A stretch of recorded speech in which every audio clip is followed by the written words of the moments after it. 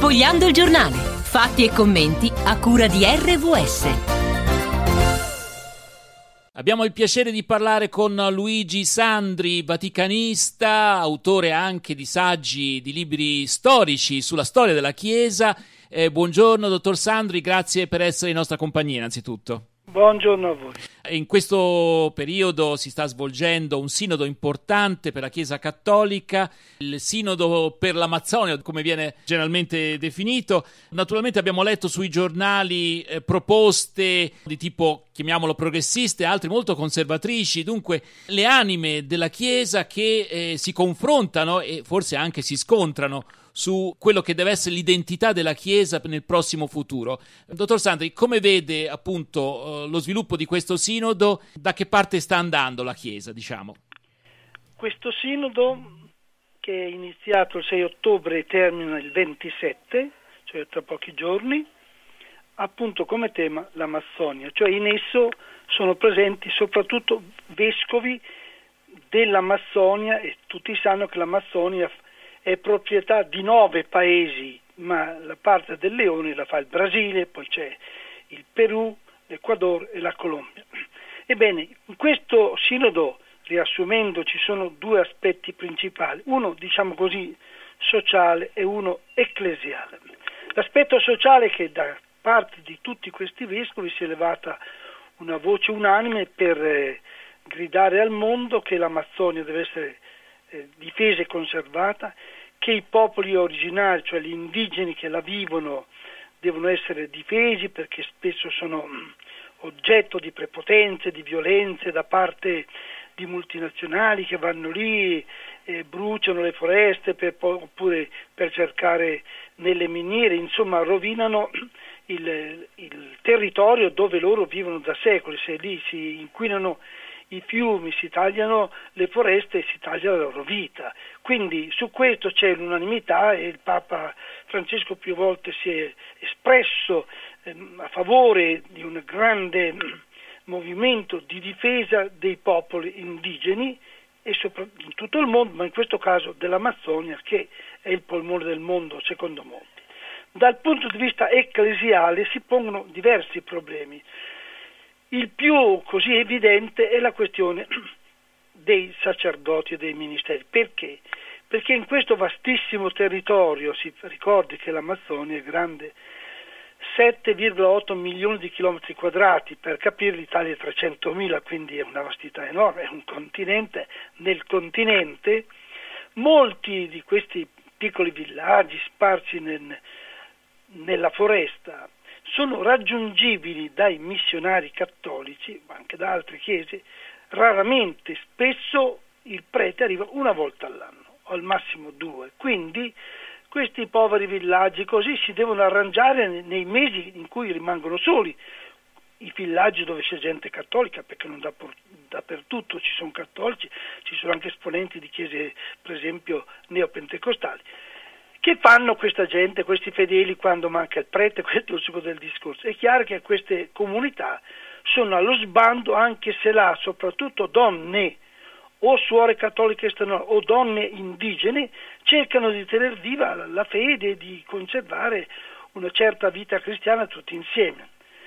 La domanda è, questa Chiesa resisterà? No che non resisterà, dicono molti vescovi, bisogna trovare una soluzione. Quale soluzione? Ecco, da alcune parti, ma non da tutte, è venuta l'ipotesi di ordinare preti uomini già sposati, cioè indios, anziani si specifica, già sposati, che hanno una famiglia stabile, che sono riconosciuti nella comunità locale come persone serie, eh, generose, piene di fede, di generosità, di buonsenso, vengono consacrati preti. E così avremo delle comunità che hanno il loro presbitero.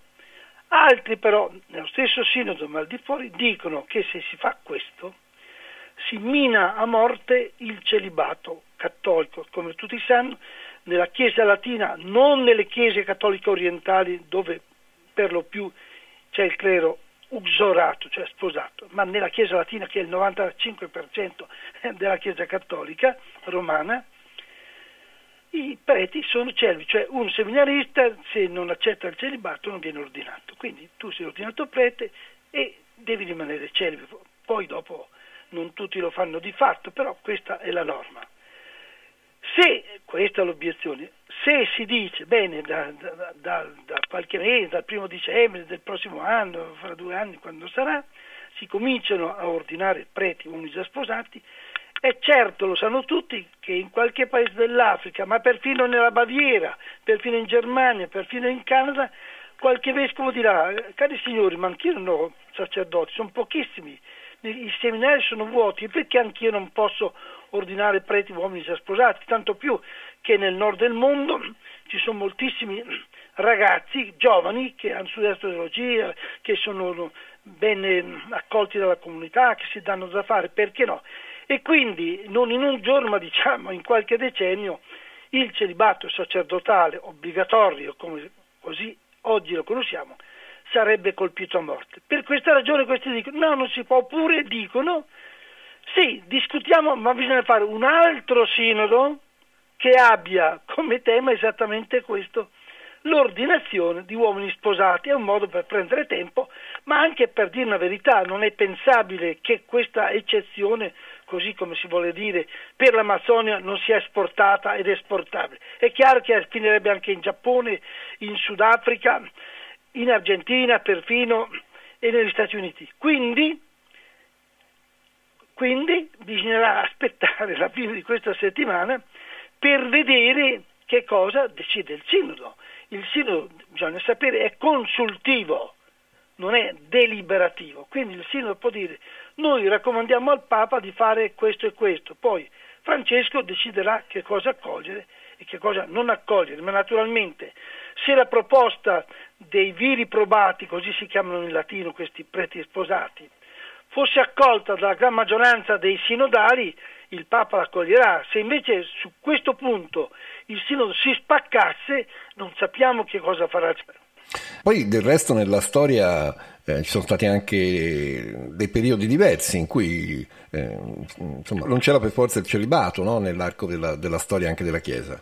Ma certo, il celibato, questo è una cosa ovvia, ma bisogna ripetere, il celibato non è stato deciso da Gesù. Tant'è vero che, lo dice il Vangelo, Gesù guarì la suocera di Pietro, che per i cattolici, molti discutono, ma per i cattolici Pietro fu il primo papa, dunque il primo papa aveva la suocera, quindi il primo papa era sposato, questo per dire che questa cosa nella testa di Gesù non esisteva. Altra cosa è il carisma del celibato, che uno sceglie questa vita e questa via, ma legare in modo inscindibile sacerdozio e celibato è una cosa discussa e discutibile, tant'è vero che le chiese ortodosse non da sempre, ma diciamo più o meno dal V secolo, hanno il clero uxorato, chi vuole eh, sposarsi prima dell'ordinazione si sposa, dopo non lo può più. Quindi in Oriente, chiese orientali, in Russia, in Romania, in Bulgaria, i, la maggior parte dei parroci sono preti sposati le, le stesse chiese cattoliche orientali, come dire per esempio i Maroniti, i Melchiti, che sono legati a Roma, hanno il clero sposato. Quindi non è affatto vero che nella Chiesa cattolica la legge del celibato sia per tutti e ovunque, è per alcuni, anche se questi alcuni sono la maggioranza. D'altra parte, la Chiesa romana, come tutte le altre, ha sempre cercato di rispondere ai problemi dei paesi dove questa Chiesa vuole, vuole evangelizzare, vuole svilupparsi. No? Ora, proprio un vescovo tedesco, ma per tantissimi anni eh, che è stato in Amazzonia, aveva una diocesi più grande dell'Italia con pochissimi preti, più volte ha detto che gli indigeni non capiscono il senso del celibato. Perché non lo capiscono? Mica perché sono migliori o peggiori degli occidentali, perché nella loro cosmologia, cosmogonia, vedono la vita, la vita e la, quindi la trasmissione della vita come il centro di quello che può fare nella sua vita un uomo e che può fare una donna. No? Quindi non avere figli è una cosa stranissima per loro. Quando lì arriva, arrivava diciamo, il prete cattolico gli domandavano tua moglie dov'è? E quindi nella loro mentalità, e forse hanno qualche buona ragione per eh dirlo, che senso ha uno che non, di trasmettere la vita. Questo lo penso, a me sembra una cosa bellissima, uh-huh. altri possono dire che non è tanto bella, però perché noi occidentali potremmo imporre a loro la nostra visione del mondo, anche della Chiesa, e quindi per questa ragione a loro va benissimo che ci sia il prete sposato. Non solo, e la donna, questo è l'altro punto debole del sinodo, e spiace, spiace tantissimo che si continui a fare questa prassi, cioè che un sinodo come questo, che ha 184 padri, cioè tutti maschi, però ci sono suore, ci sono donne, ci sono professoresse, esperte, sociologhe, oltre a uomini naturalmente, che danno il loro contributo, ma alla fine non votano. È mai possibile che nel terzo millennio ancora solo i maschi abbiano il potere? Una cosa non sta in piedi da nessuna parte. E quindi, aprendo ai viri sposati, alla fine si dovrà arrivare a ridiscutere alla radice la visione cattolica dei ministeri che se si pensano riservati ai maschi non c'è soluzione. Se si pensano invece dei servizi, non dei mediatori tra il cielo e la terra, ma dei servitori della comunità, non si vede perché non possono essere uomini e donne celibi e sposati.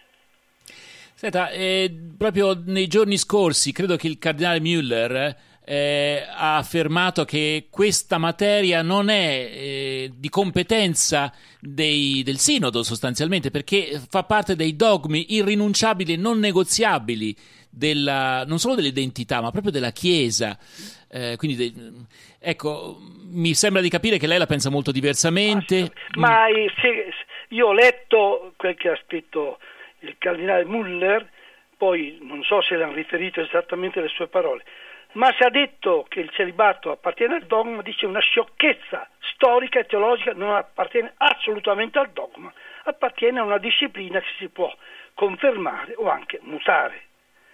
Ma il punto fondamentale dove Muller ha ragione, secondo me, ma la mia posizione è molto minoritaria, è che un sinodo consultivo non può affrontare e risolvere problemi così globali e complessi che alla fine come dire, rendono una questione di chiesa molto importante, non, di, non, diciamo essenziale, ma molto molto importante nella vita concreta. Allora, io ritengo, l'ho scritto, eh, più che dirlo non posso, certo. che per to- toccare certi nodi, il nodo dogmatico, in questo ha ragione Muller, è che sono i ministeri, punto interrogativo, il sacerdozio, così come lo pensiamo noi, cattolici, è stato istituito da Gesù o è stata una costruzione storica che ha cercato di inverare le parole di Gesù ma che potrebbe essere ridiscussa? Perciò io sono d'accordissimo con Muller che ci voglia un concilio generale, non ecumenico perché riguarda solo la Chiesa romana e non tutte le chiese, la Chiesa della Riforma, la Chiesa dell'Ortodossia. Un concilio generale della Chiesa romana che finalmente affronti direttamente, frontalmente, coraggiosamente il problema dei ministeri. Se si dice, come ha scritto Papa Voitila imponendolo nel 1994, che Cristo ha deciso per tutti i secoli che solo uomini possono essere sacerdoti, se questa è la verità, la questione è chiusa, ma è chiusa anche la Mazzonia.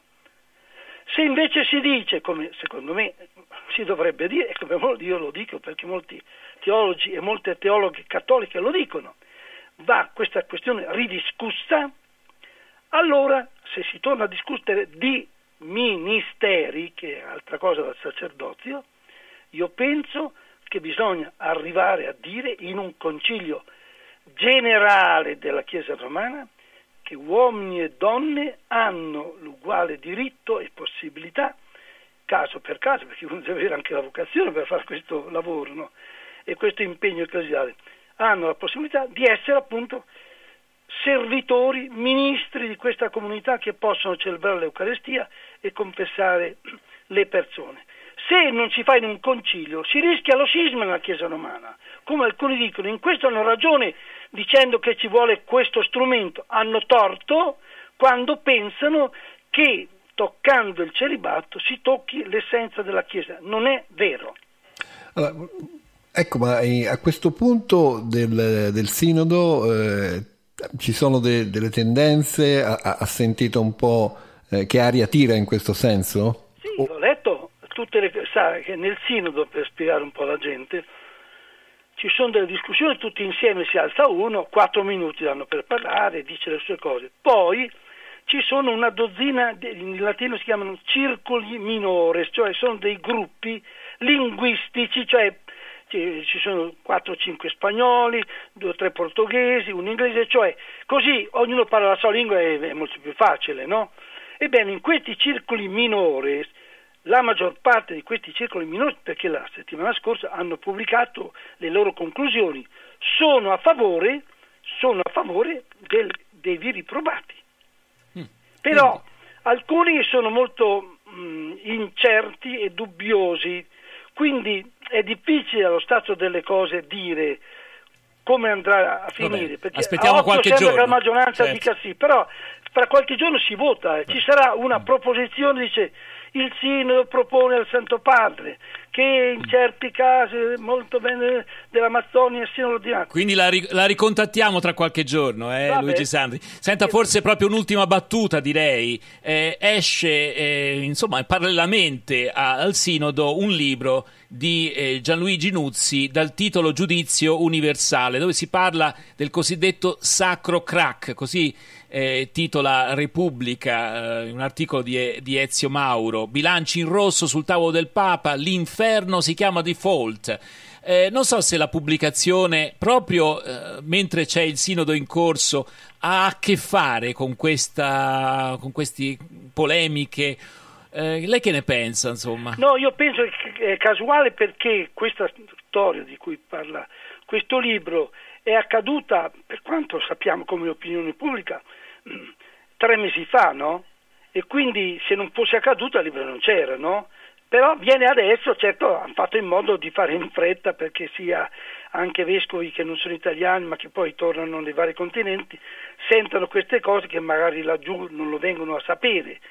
È una cosa distinta naturalmente, certo. però naturalmente anche questa pone dei problemi enormi, no? Perché tutta la storia della Chiesa Cattolica e di tutte le chiese, se posso dire, dimostra che il rapporto tra la Chiesa e il denaro è sempre complesso, perché giustamente le chiese se raccolgono dei soldi devono pur vivere no? quelli che servono alla Chiesa, è giusto che sia così, però quando i soldi sono tanti e invece di dare ai poveri si vanno investimenti a Londra, come è successo in questo caso, questa è l'accusa, io non lo so, è chiaro che nascono dei problemi. È molto difficile per il Papa, per qualsiasi Papa, affrontare questo problema in modo realistico e, come dire, possibilmente attuabile, perché se si fanno grandi enunciati che rimangono nei cieli e dopo la vita continua come prima, non va bene. Quindi questa è una croce che ha Francesco, non è certo colpa sua, lui se la trova sul tavolo, no? quindi pone problemi veri e gravi. Però io non conosco le persone, non so i fatti e non mi pronuncio, ma parlando in generale il problema del rapporto di cui già parlava Gesù tra Dio e Mammona, cioè tra il Signore e l'economia e i soldi, ha sempre pesato sulle chiese e tuttora pesa. Ecco eh, Luigi Sandri, poi, poi chiudiamo davvero. Eh, qui però il rischio è anche che anche lo Stato Vaticano, come tantissimi stati in questo momento, sia anche in grossa difficoltà per poter mantenere eh, tutta l'organizzazione, lì ci sono molti voci, cioè è proprio sono, un bilancio... Sono gli stipendi da eh, pagare. Che, che, è un... No, rischio... Qui, eh, qui, qui, si apre un problema enorme, no? cioè lo Stato della città del Vaticano, che è stato creato, come tutti sanno, dai patti lateranensi del 1929, eh, al potere in Italia stava Mussolini, di là eh, Pio XI, e anche questo è un fatto derivato dalla storia, la soluzione della questione romana, eccetera. Può per sempre il vescovo di Roma, perché questo il Papa è vescovo di Roma, essere al tempo stesso avere al tempo stesso il potere legislativo, esecutivo e giudiziario, perché così è, questo stride con la mentalità moderna, no?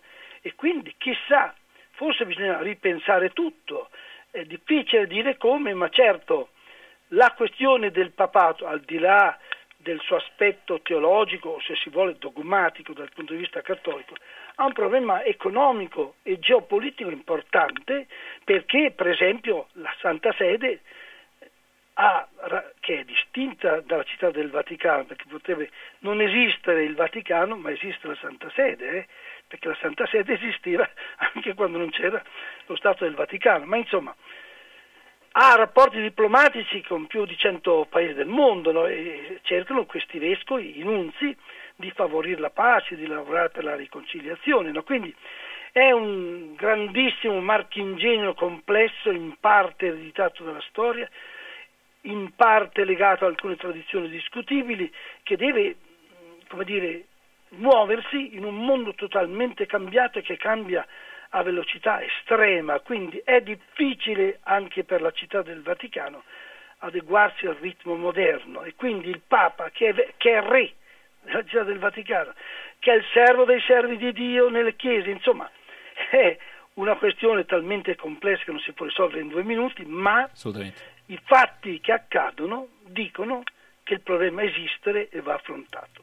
Allora, noi ringraziamo davvero Luigi Sandri, teologo cattolico, vaticanista, eh, storico, per eh, questa analisi a proposito del Sinodo per l'Amazzonia che si conclude il 27 ottobre. Noi contiamo sicuramente di tornare sull'argomento e eh, abbiamo preso spunto anche per insomma, fare qualche altro riferimento al volume di Gianluigi Nuzzi, Giudizio Universale, che insomma esce proprio nelle librerie in questi giorni. Grazie davvero per essere stato con noi, a risentirci. Grazie a voi. Abbiamo trasmesso Sfogliando il giornale, fatti e commenti a cura di RVS.